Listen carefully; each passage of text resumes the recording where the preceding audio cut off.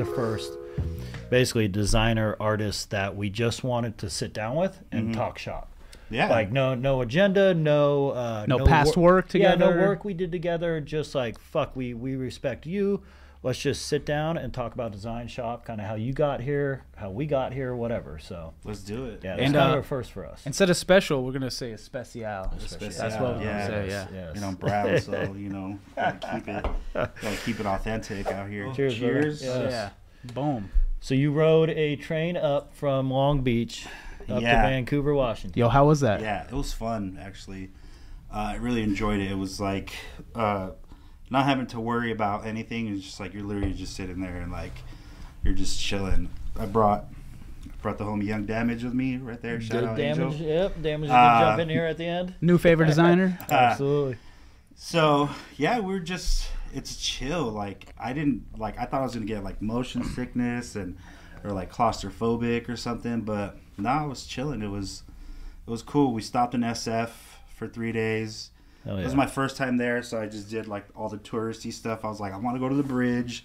Yeah. I was like, I want to see the seals, and I want to get drunk at that park where everybody uh, posts. you know, but we we were there on Easter, on Sunday, and we Oh, completely shit. forgot it was Easter Sunday. And then walking that city, oh my god! I mean, I'm a big guy. I'm out of shape. so- Up and down hills. Oh, I was huffing and puffing, bro. And not the Chiba. Like I was, I was, Just I was oxygen, tired. oxygen, um, but yeah, it was cool. It was it was fun.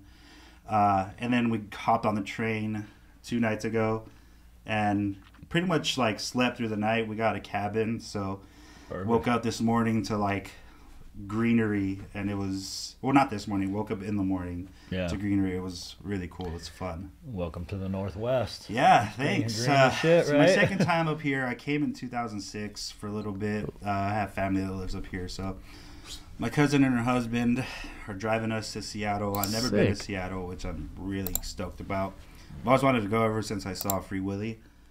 Is that from there? Yeah. I didn't even know that. Ever since I saw Free Willy, I was oh, like, dude, that shit. place looks so fucking I cool. forgot about the movie. It's a good Yeah. soundtrack. I Yeah. yeah. Personally, yeah. Totally, uh, Michael Jackson all day.